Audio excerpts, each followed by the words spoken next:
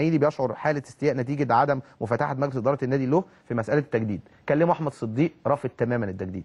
كلموا عبد الله الشحات رافض تماما التجديد وكان وصلوا معاه المليون و200 ألف وعبد الله الشحات شكله مضى للزمالك. شكله مضى للزمالك. إسلام عوض بيقول فبراير اللي جاي طالما انتقالات شتوية فبراير آخر كلام هروح نادي الزمالك. ده كلام إسلام عوض ويقال إنه مضى للزمالك. ده كلام بعض اللعيبة نفسه بتقولها بتقولها لاصحابهم.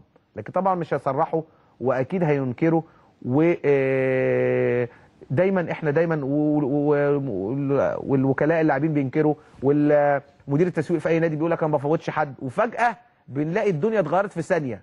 فجأة تلاقوا اللعيب راح مثلا فلان. فاكرين ما قلت لكم أحمد شديد قناوي لا لا لا لا مالناش دعوة. ده أنا جاي أزور الأهلي عادي جدا.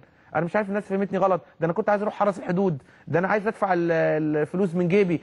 ومش هتروح الاهلي لا لا مش هروح الاهلي خالص. بعد كده بعديها راح الاهلي فحاجة حاجة يا جماعة يعني معتز اينو لا لا لا لا لا ده أنا خالص ما فيش أي مفاوضات خالص. بيروح الاهلي يعني قصدي إيه؟ إحنا نقعد نضحك على الناس يومين ثلاثة لغاية ما القصة تخلص. ما هو يعني ال- الأيام بتجري وبنعرف اللعيب رايح فين في الآخر.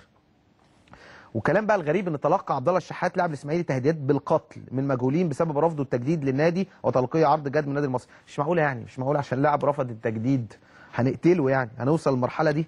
طيب آه آه كمان آه بكرة النادي المصري هيخش معسكر مفتوح اعتبارا من الغد في يختبر خلاله الثنائي كانتي وهو لاعب مالي لاعب في بني